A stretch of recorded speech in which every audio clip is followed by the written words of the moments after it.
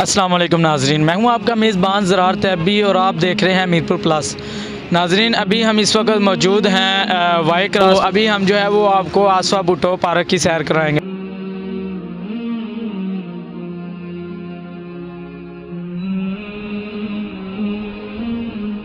जी तो अभी हम जो है वो टिकट लेने लगे हैं जी। कितने का टिकट है जी? पर बंदा तीस रुपये सर। अच्छा चलें हमें दो दे दें साठ रुपये सर।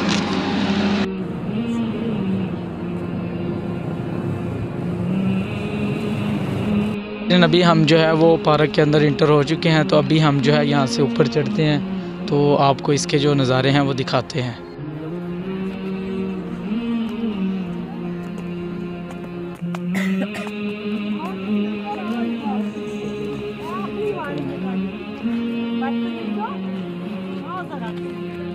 तो अभी हम ये पहुँच जाए हैं। जी, ये क्या चीज़ है जी?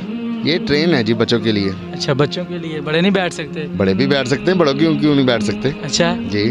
तो ये टूट जाए तो फिर? टूट जाए तो दोबारा वेल्डिंग करवा लेंगे। सही हो।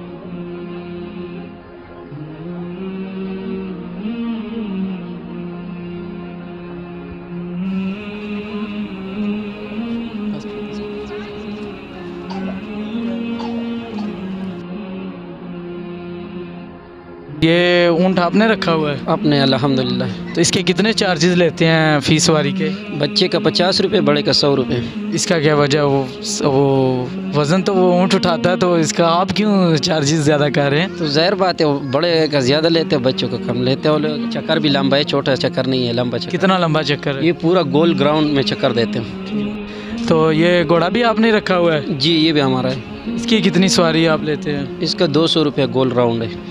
छोटे का बड़े का इसके अंदर नहीं चक्कर रखा? नहीं इस पे एक बंदा बैठते है और एक ही टिकट है बड़े और बच्चों का एक हिसाब है।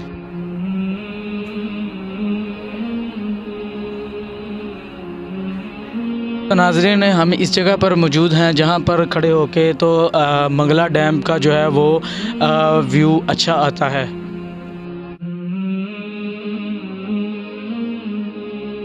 पार्क के अंदर आए हैं तो आपने कैसा महसूस किया पार्क को? बस यही कोई टाइम गुजारने आए हैं सनसेट वगैरह देखने बस। उसके अलावा कुछ नहीं करने आए? नहीं उसके अलावा कुछ नहीं करे फैमिली के साथ आए हैं क्या करना है हमने आगे